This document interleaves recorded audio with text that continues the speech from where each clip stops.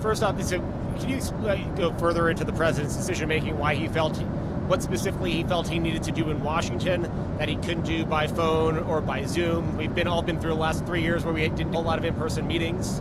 You know, did he did he think about inviting Kevin McCarthy to, to Papua New Guinea or to Sydney so he can carry out these meetings? You know, why does he feel the need that he has to be the one to go back to Washington? Um, okay. So I think I'm just going to reiterate a little bit of what um, Jake Sullivan said, what, which is as we get to the X date, you start looking at the president's time, right? The, and really focusing on the allocation of his time. And we know the X date, right? The Treasury, the Treasury uh, Department has been very clear that it's coming up. And so uh, the president wanted to make sure uh, that uh, that the conversation uh, that he wanted to have clearly continued. As you know, the, the staff is, has been meeting every day. It's been productive. He has he's optimistic about it. Uh, you heard him speak about it directly uh, today in the Roosevelt Room before he took off, and the president just wants to make sure that uh, that this gets done. Right? We we are a country that is uh, that pays our debt. We are not a deadbeat uh, nation. And so the president has been very clear about that, and he needs and wants Congress to do their job.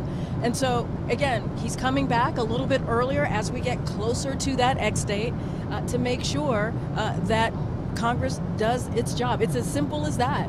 Um, and uh, you all had been asking for weeks and weeks, and not weeks and weeks and weeks, but for some time, uh, that uh, asking about his schedule. And you know, the president took a look at it, just as Jake said. He took a look at it. He looked at the X date. He looked at uh, what needed to be done, and the president wanted to come back, uh, come back a, a, little bit early, postpone those two other stops that he was going to make, uh, to make sure that Congress actually did its job. And let's not forget, there's also the, the, the budget negotiation that is currently happening, the spending, the appropriations, that regular order of making sure that uh, we get that done as well. And that is a bipartisan agreement, a reasonable agreement that both Republicans and Democrats in Congress can vote can vote on it and can get to the president's desk. Do you have a sense of what the schedule of talks will be over the next couple days? Can you give us some detail about how that's going to play out? So a couple of things, and I, I, I believe the president may have said this. Um, if not, I, will share this with all of you. As you all know, and this is something that you know already, the staff members,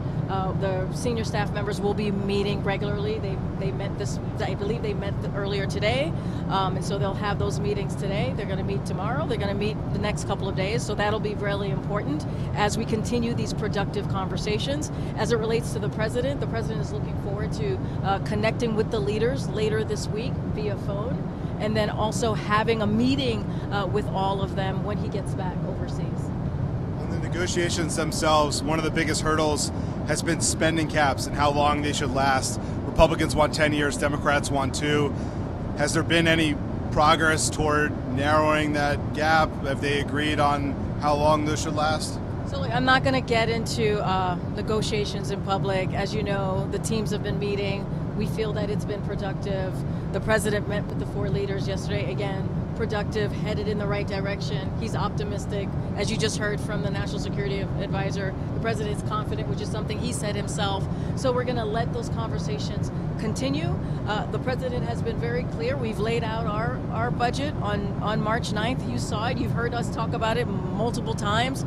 It's a budget that shows uh, spending uh, uh, a cut in deficit uh, over 10 years by $3 trillion, adding, uh, really continuing the work that the president has done the last two years, and getting, cutting those wasteful spending as it relates to big pharma, as it relates uh, to oil, uh, big oil as well. And so we've been very clear about how we see uh, the values of this country moving forward, how we see de- delivering for American families, and those conversations are just going to continue.